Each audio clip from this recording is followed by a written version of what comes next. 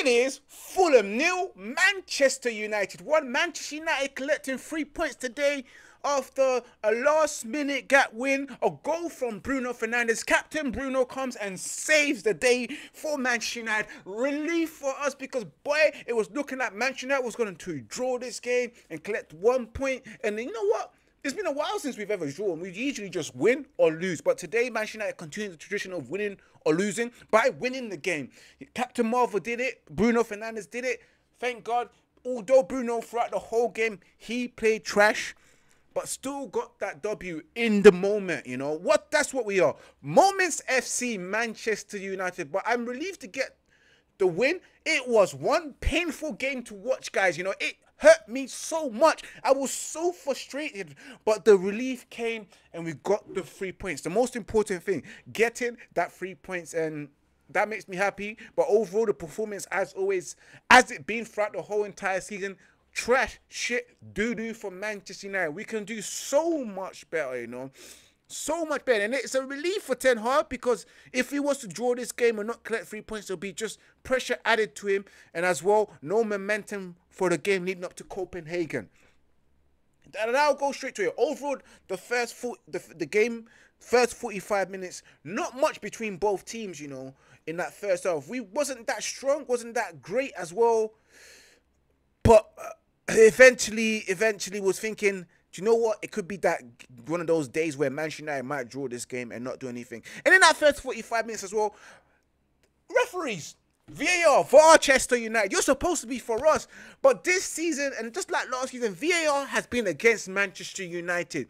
A goal that was taken away. A clear, clear onside goal. And I don't give a shit what anyone else has to say. You know, that goal from Scott McTominay was an, a legitimate goal. And I think that referee, you need to be sacked or banned or dropped or re relegated to the championship team. You know, for them to just say that Harry Maguire was in the way. Harry Maguire to me looked like he got fouled when when Garnacho squared it to McTominay and McTominay scored that goal. I don't think it was offside.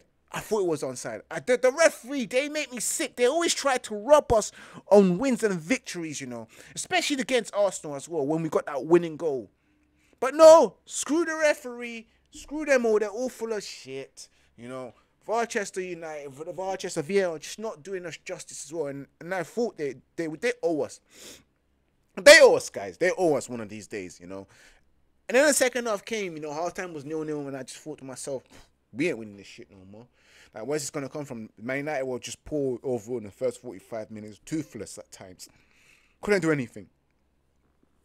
Even in the second half, it was the same garbage, the same shit that we saw from Manchester United in that second half. And you, Ten Hag was making changes, but the changes weren't working at all. You know, you're bringing on Martial, Mason Mount, who I think is just absolutely trash and horrible, will never, never to me um, show me that he's good enough for Manchester United. You know, as much as you can say that number seven shirt has been wasted, how can you give that to him?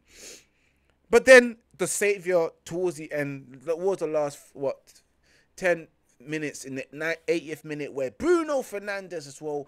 Pellistri passing the ball back to Bruno Fernandes, and Bruno Fernandes cuts in and have no choice. And you knew what was in his mind. Bruno's gonna shoot.